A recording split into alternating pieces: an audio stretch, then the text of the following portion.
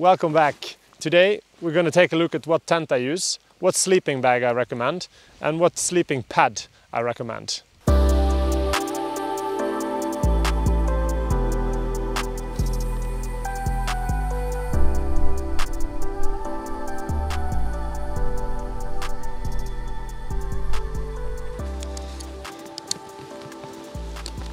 When I set up my tent, I try to keep in mind where the sun comes up and when the sun goes down.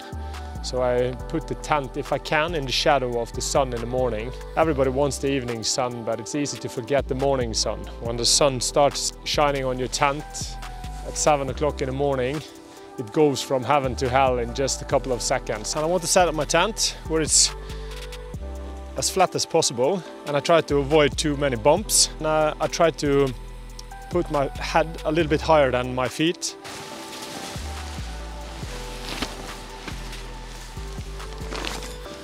Oops.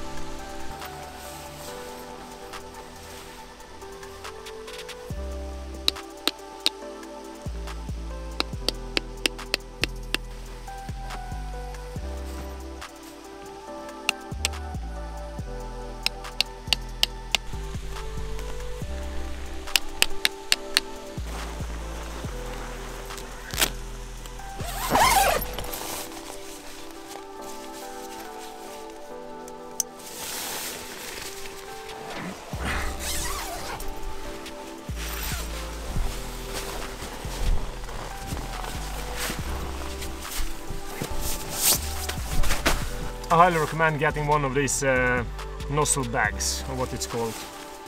It makes the job much easier. There's an integrated pump on the Exped, and uh, that works great, but it takes a lot of time to pump up a paddle like this.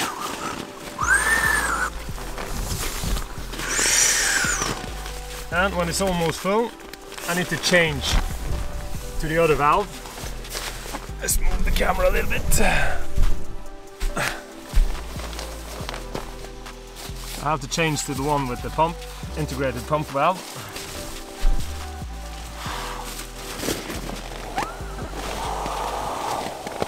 You can also pump like this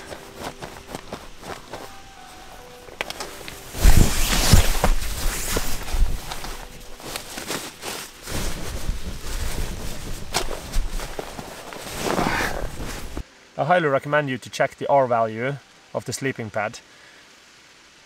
That gives you kind of an idea how good uh, stuffing and how good it uh, isolates to, from the ground. Uh, I personally really like the, the Exped uh, sleeping pads.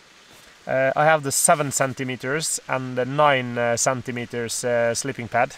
Biggest difference between the two are the comfort when sleeping they pack almost the same but sleeping on it through many nights uh, many days when you are standing on your bike a lot and you're riding a lot it's good to have a extra padding for your back when you're sleeping.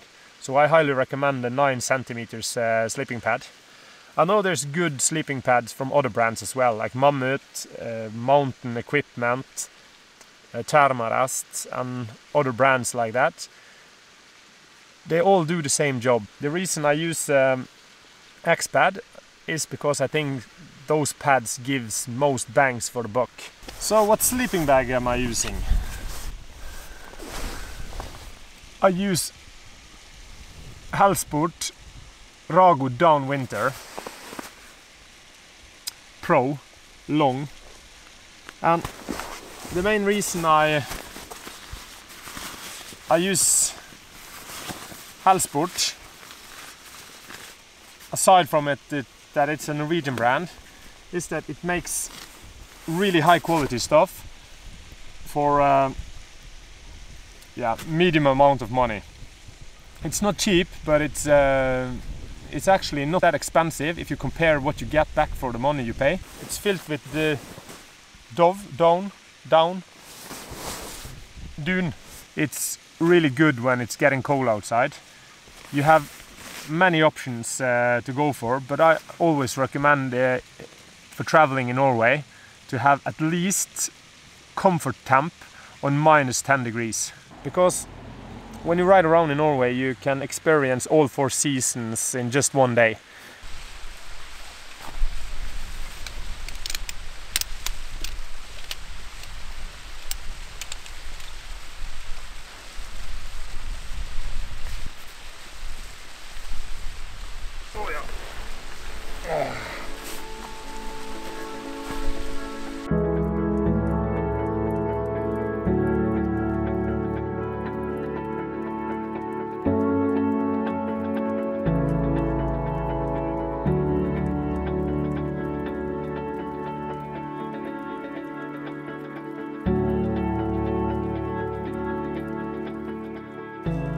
This is uh, a normal tunnel tent and I prefer a three-person tent because I can uh, sleep really comfortable inside it and I can put all my equipment uh, on the place right next to me.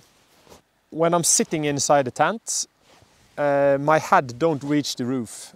The cons with a tent like this is uh, the ventilation in it is quite poor, so you will experience a lot of condensation and the condensation can be a really problem because uh, every time you wake up in the morning, tent is wet, so you need to dry it out. And if you don't get a lot of uh, ventilation through the tent, you won't be able to dry it up. So you need to pack down a wet tent and pack it up again a wet tent, and uh, that can be cumbersome in, uh, over a long period of time. Because I use my tent a lot in early season and late season, I'm looking into getting a tent that is um, self-standing on those tents, it's much easier to open up uh, the sides of the tent to make better ventilation through it, so the wind can uh, dry out the condensation much easier. This is a Fjellheimen Pro Camp 3 from Helsport.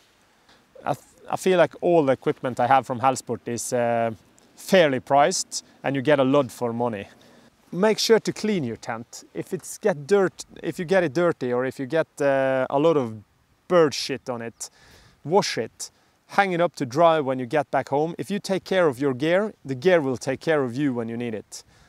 And I always recommend having with a tarp when you're out uh, traveling. Like now, when the sun is up, you can put on a tarp and just uh, keep it a little bit above the tent and you won't get cooked by the sun so bad when uh, like it would if you didn't use a tarp. Find some sticks and you can uh, stick it up so you have uh, almost like a roof over your head between the bike and the tent. There is a lot of good tarps on the market. Just find one you like and one that is big enough for your needs and uh, have it with you on your trips and use it as a roof or just use it as a wind protection or use it as a sun protection if you like.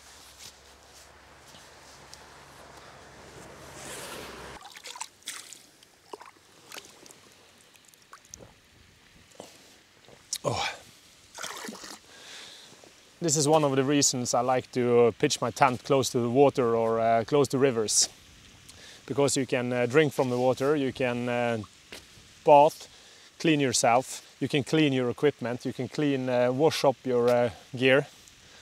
So, um, and of course, I really like the sound of the, the river. It's almost like therapeutical.